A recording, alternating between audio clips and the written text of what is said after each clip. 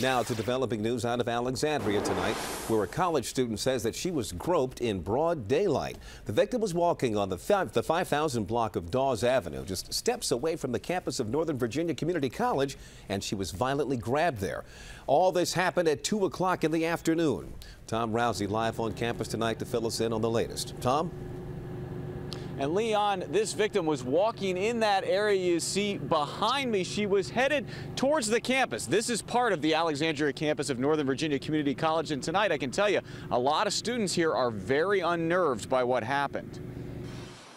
Oh, wow. I mean, I'm really in shock. Northern Virginia Community College students we talked to say the thought of something like this happening in broad daylight wasn't even on their radar screen.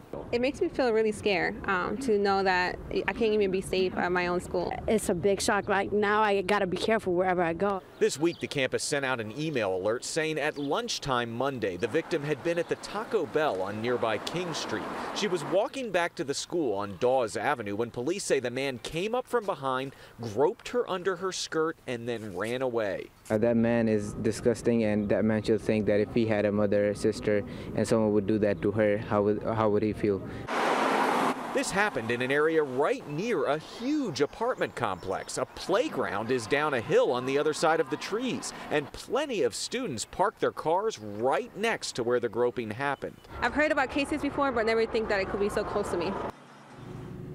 This suspect is described as a man in his 20s. He had a mustache. He was wearing a black baseball cap, brown shirt, and brown shorts. If you've got any information that could help Alexandria police catch him, you're asked to please give them a call. Live in Alexandria, I'm Tom Roussey, ABC 7 News.